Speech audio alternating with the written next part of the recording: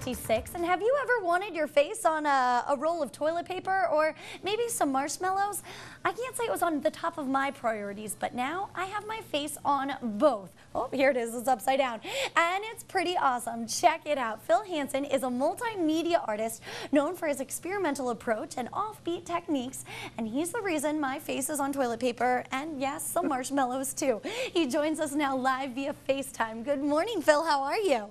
Uh, doing very well. Great, great. Well, first off, thank you for the presents. Again, I can't say I've ever had anything like this before, but uh, now you want everyone to be more creative in our everyday lives through simple ways with things found around the house, again, such as marshmallows and toilet paper. Uh, we're talking food, cardboard, coffee filters, gummy bears, but Phil, these don't seem like typical art supplies.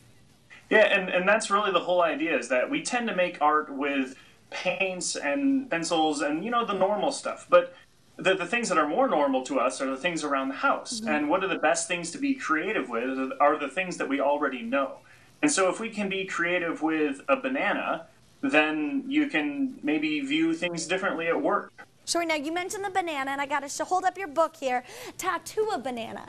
Uh, I mean, toilet paper, tattooing a bananas. How did you ever think to come up with making art out of these things?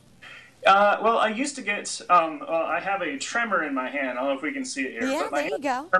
yeah, it just permanently shakes. I have nerve damage in my arm, and so I couldn't do the art that I always wanted to do. So then I had to start experimenting with different things and finding different ways to make art. And so that led to my own artwork being extremely varied. And then when I wanted to show people how to be creative at home, it was a natural fit.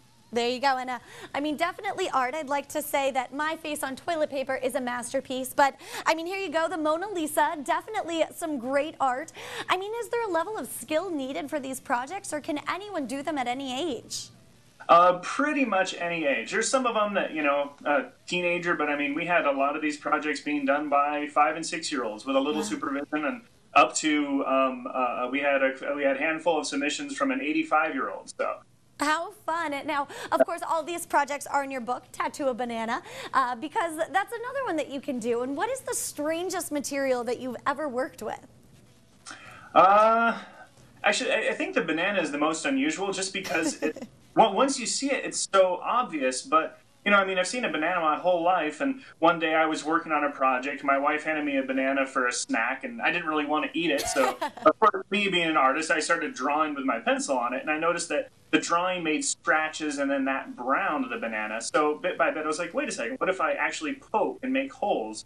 and voila, you can make amazing images on bananas. There you go, voila. Again, check it out in his book. But I mean, bananas, other things that you can work out with food. I feel like it's all kind of teaching kids to have not only fun with their creativeness, but I mean, fun with, you know, healthy foods and healthy lessons in life.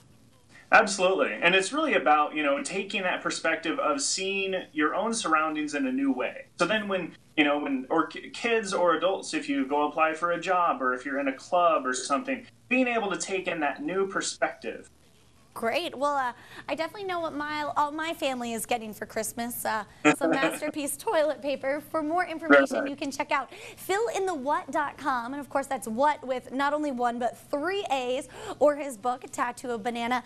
Again, Phil, thank you for my gifts. Thank you for all of this wonderful knowledge.